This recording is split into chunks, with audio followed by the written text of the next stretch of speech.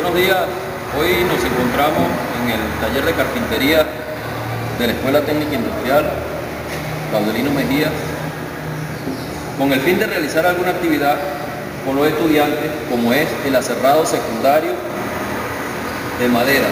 Bien, acá en la parte posterior tenemos un material que nos llegó a nuestra institución este, de manos del componente Guardia Nacional, en vista de que a ellos se les fue donado para su aprovechamiento en virtud de que es un recurso que viene de un hecho ilícito, como es la deforestación indiscriminada de nuestro bosques. Desde acá es, este, creemos que podemos hacer buen trabajo con este recurso y destinarlo a un bien que le sirva a la sociedad. ¿Ok? Este, vamos a dar unas palabras de agradecimiento. Acá enviamos un mensaje al general Romero, al capitán Betancourt, al mayor Puente, que tuvieron la disposición y la voluntad de visitarnos en nuestra institución y realizamos un acuerdo para procesar el material y para destinarlo a un uso ¿sí? Como es la construcción de mesas y sillas para el comedor de dicha institución.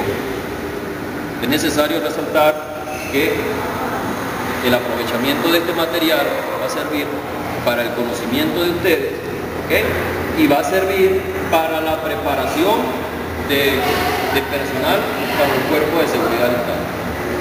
Este material pertenece a la especie patillo, tenemos cedro también, variedades que se encuentran en los bosques húmedos nublados alrededor de nuestro estado y que se ha procesado de manera indiscriminada y legal.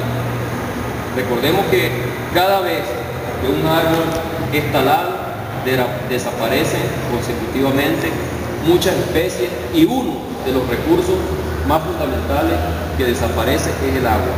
Estos árboles anteriormente se plantaban en, lugares altos donde existían plantaciones de café y el motivo para plantar árboles como el cedro, el bucare y el patillo es que le generaran sombra al mismo cultivo del café y hicieran abundar el agua, normalmente en zonas muy altas. Pero desde un tiempo para acá comenzó la destrucción indiscriminada para la explotación de este recurso. Cada vez que exista quien compre, va a existir quien venda. Y por ende esto va a generar una cadena de desastre en el medio ambiente. Imagínense la magnitud que tenían estos árboles cuando estaban en pie. Observen la dimensión que tienen estos tablones.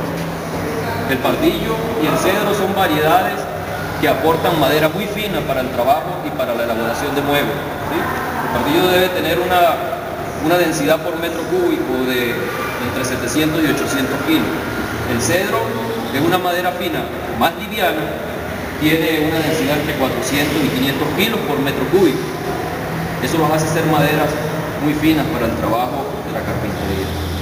Hay que enviar un mensaje también a los compañeros carpinteros fabricantes de muebles, ebanistas, porque no puede ser posible de que nosotros nos prestamos para adquirir material que viene de la clandestinidad, ¿sí?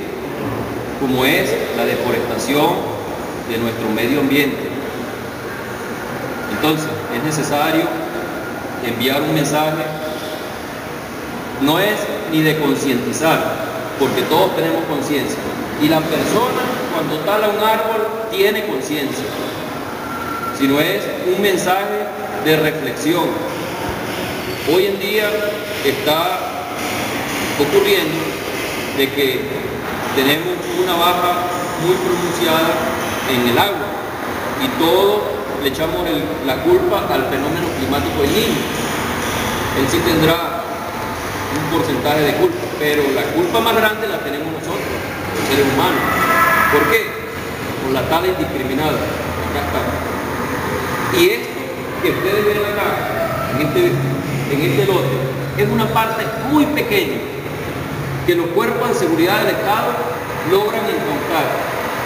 Esto es una parte muy pequeña. Aquí aproximadamente debe haber menos de 3 metros cúbicos de las dos maderas, de las dos especies. Y eso es un porcentaje muy bajo. Imaginen ustedes la cantidad de árboles que hay que talar para obtener una dimensión de madera así como esta Bien, dicho todo esto, la actividad que vamos a realizar hoy es el aserrado secundario y proceso de material. ¿Por qué? Porque el aserrado primario ya se realizó, que es el que se hace en el monte, en el bosque. Cuando se tala el árbol, el árbol cae, así como está en aquella imagen, que está en una rola. Posteriormente hacen el aserrado primario con una motosierra y esto es lo que llega a los talleres de carpintería. Cuando llega al taller de carpintería tenemos que seguirlo procesando. ¿Para qué? Bueno, para sacar el material y elaborar diversos muebles, así como, como la imagen que tenemos acá en esta mesa. Esto, esto que está acá, salió de este material. ¿Sí? Ok, ahora, ¿cómo lo hace? ¿Cómo lo hacemos? ¿Cómo lo hacemos? El proceso es sencillo o a lo mejor muchas personas dirán, sí, es sencillo para ustedes porque es el día a día.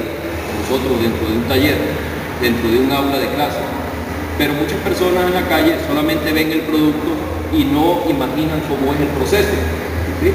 Entonces, lo que vamos a hacer es sencillo, vamos a seleccionar una pieza de madera, vamos a llevarla a una máquina que se llama canteadora, vamos a acondicionar tres caras que me generen 90 grados por dos ángulos, uno, dos ángulos, 90 grados y 90 grados.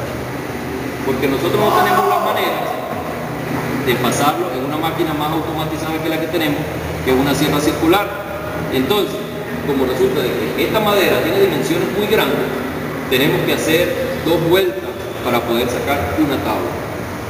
Y por último, una vez que tengamos la madera cerrada, o la pieza de pardillo cerrada, la vamos a llevar a la regresadora y vamos a definir el espesor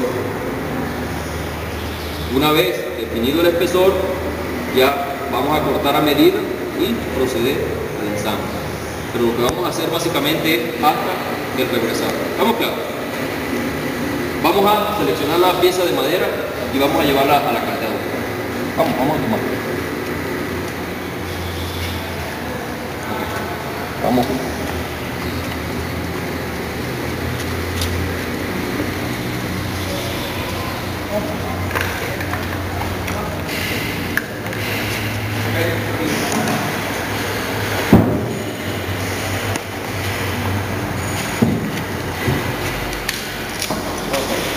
Entonces, por acá, entonces,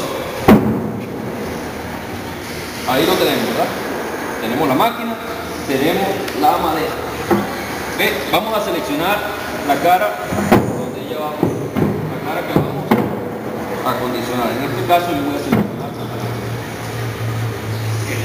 Ok, vamos a utilizar, vamos con la seguridad. En el momento que el tablón, la pieza de madera, pasa la plataforma posterior, no la vayan a dejar caer. Vamos a tratar de sostenerla. ¿okay? Ustedes luego me van a ayudar a pasarla en la presión. Esto va a ocasionar un poco de ruido. Va a ocasionar un poco de ruido y es probable que la voz no se va a escuchar. Sin embargo, tenemos entendido que es lo que vamos a hacer.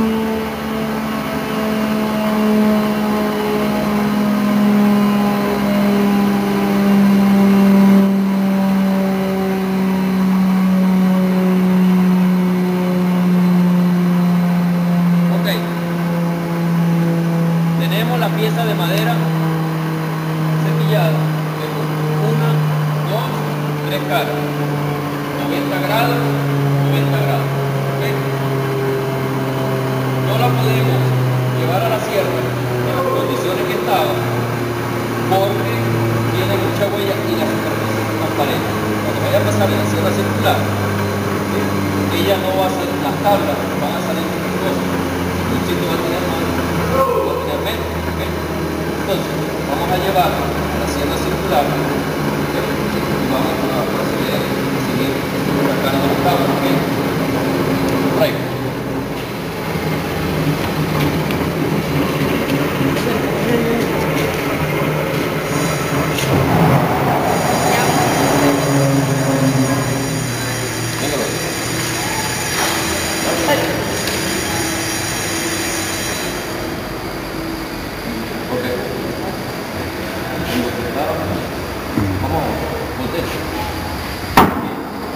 Esta la sierra circular y de acá vamos a comenzar a sacar los listones para la elaboración de la mesa. Cada pieza que salga de acá la colocamos. Escuchó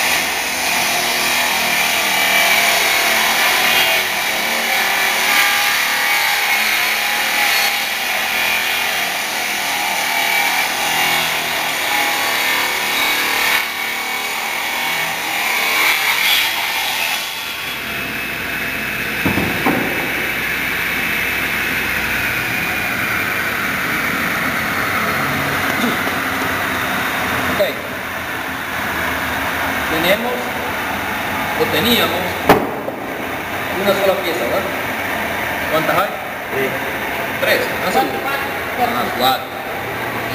Ya esto no se parece en nada a la pieza que traemos del lote. Vamos a llevarla a la regruesadora, vamos a definir el espesor y vamos a eliminar la huella que dejó el disco, el disco de corte. Esta sí va a hacer ruido, ¿ok? Pero este, con esto concluimos la actividad ahí en esa regresadora. Posteriormente la vamos a llevar a la sierra circular, pero eso va a ser en otra entrega, ¿ok? Vamos a llevarla a la.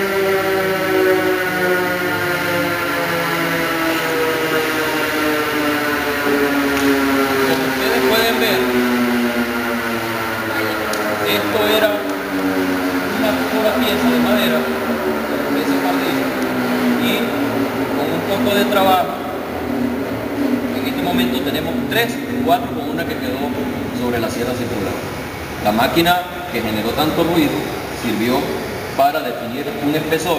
Ahora tengo dos caras lisas, casi, solo, casi para, para lijar. Y acá podemos ver el producto casi terminado. Esto es el proceso secundario de aserrado de materia prima o de madera normalmente que se realiza en una carpintería. Bueno muchachos, bueno amigos, hasta una próxima entrega. En esta institución se aprende cómo? Haciendo. En la escuela aprendemos haciendo.